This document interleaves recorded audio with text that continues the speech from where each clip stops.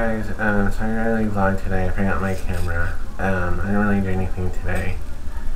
Um, so I'm gonna end my vlog here in my bathroom because they're good lighting. Um, like this video, subscribe up there. Other videos and vlogs are over there.